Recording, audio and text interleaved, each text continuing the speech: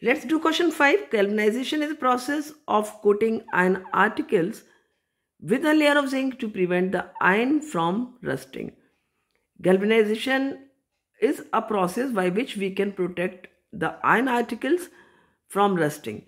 In this, what is done, basically the zinc is coated on iron object or an article and then it remains protected and the iron is protected even if the zinc coating is, is scratched and iron is exposed.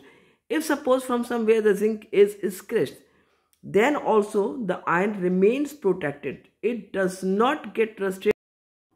So now if you know that uh, if suppose this is the iron article, suppose this is iron article and it is coated, this iron article is coated with the zinc layer, right? So if it is coated from the zinc with the zinc layer, means from every side it should be coated properly.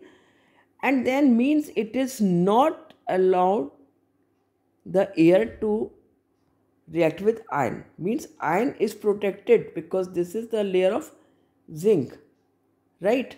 And this is what iron object. So if it is coated with zinc the air cannot touch the iron and iron remains protected.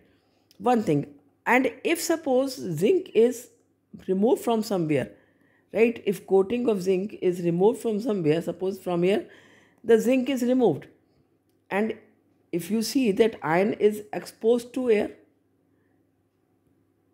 right? But even then it does not get rusted it does not get rusted so how does it happens because you know that zinc is more reactive than iron.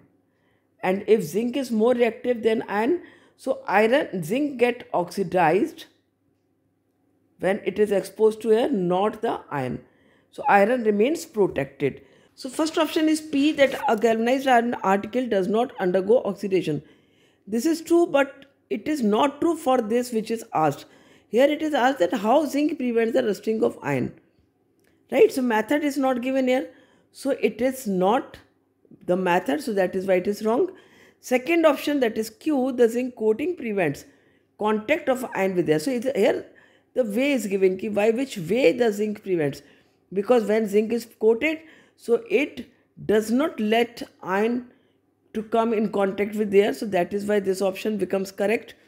Sec uh, third option that is r zinc undergoes corrosion more easily than iron? Yes, this is again correct because we have seen that zinc undergoes oxidation and get oxidized but iron doesn't. Even if zinc coating is removed, iron does not get rusted because the as the air comes in contact with the object, the zinc gets oxidized, not the iron.